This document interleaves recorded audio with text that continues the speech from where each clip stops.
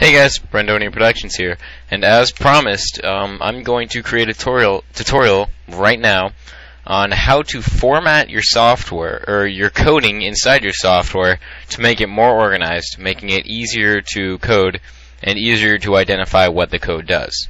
So what I'm going to do is I'm just going to start a quick Windows Forms application, not even going to rename it.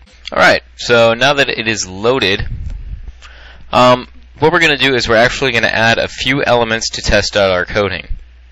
Uh, the first element we're going to add, we're actually going to make our program do something first. So we're going to make it so when you press a button, alright, when you press a button, the button text changes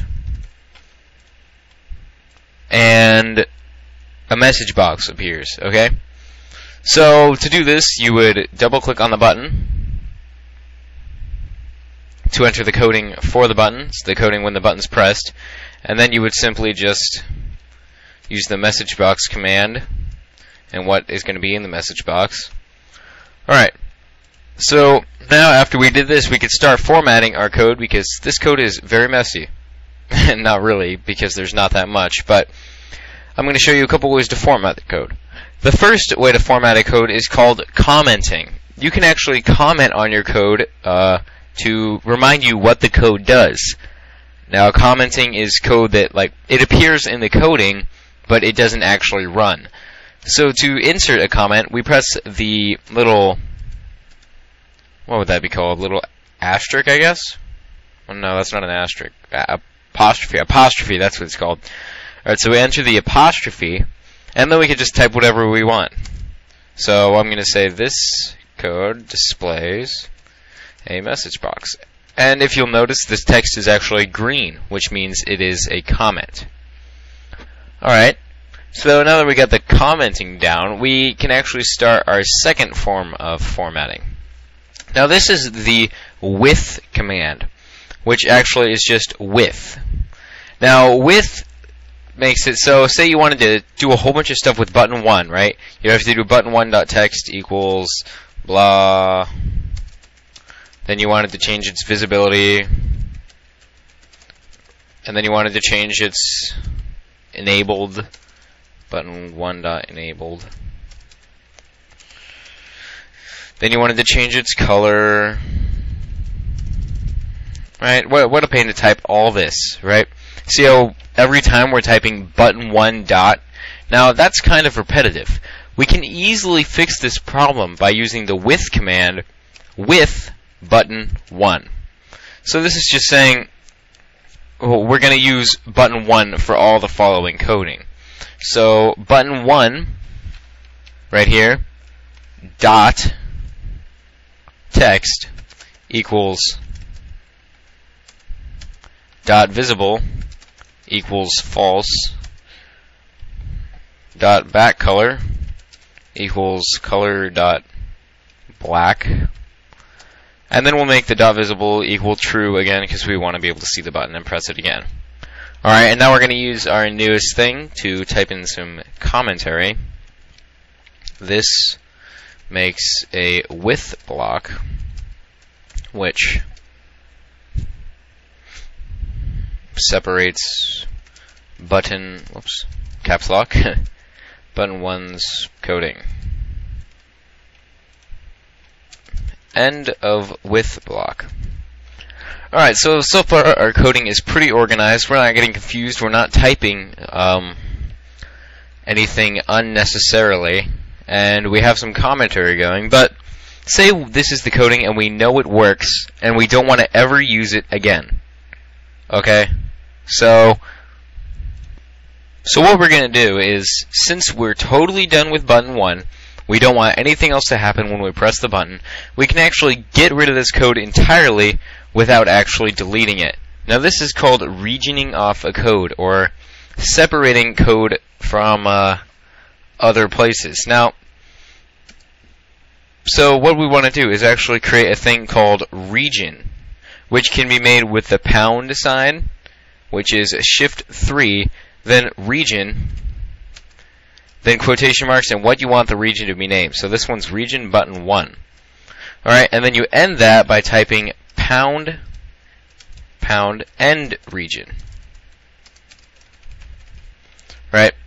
So now we have a region here, and keep in mind that regions can only go on top of a private sub.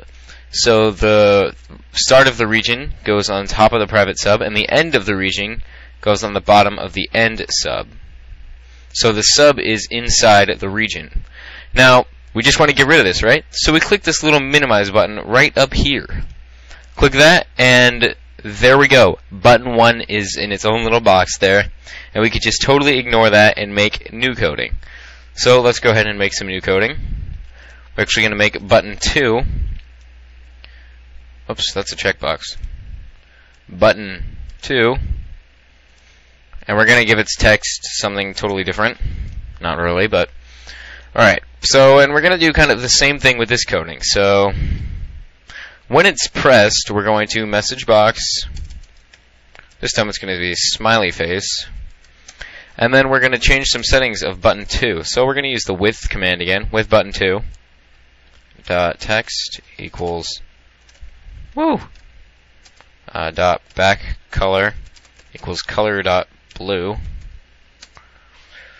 dot uh, what else can we change on buttons? Let's just leave it at that. So then we have this. Now we're going to enter some commentary. Uh, displays a message box. Starts the with button 2 block. Ends the with block.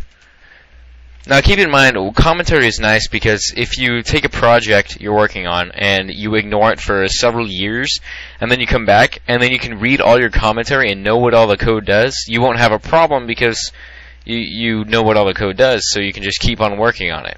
So you'll never forget what the coding does if you do commentary. Alright, so now this is all set, so now we're going to make this into a new region. Region button 2. Now we're going to end the region at the bottom of the end sub. End region. And then we could just minimize button 2.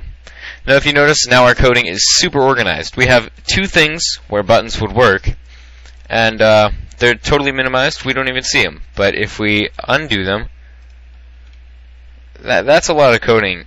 Just That's a lot of unnecessary coding being displayed, so we can just get rid of that again. Now, while it's in regions, the coding actually still works. It's just minimized. So we can go ahead and run the project. And now when we click on this button, the message box appears and the back color changes to black. If we press this button, the message box appears with a smiley face and the back color changes to blue and the text changes to woo. So yeah, that's how you format code in a program to make your coding more organized. So thanks for watching. Please remember to rate, comment, subscribe. Stay tuned for my next tutorial on how to create an updater for your program so people will never be using the uh, the older version of your programs, maybe the ones that don't work as well. And yes, remember to check in the link or in the description below for links to everything uh, including the advanced text tutorial for this video tutorial. So yes, thanks for watching and have a great day.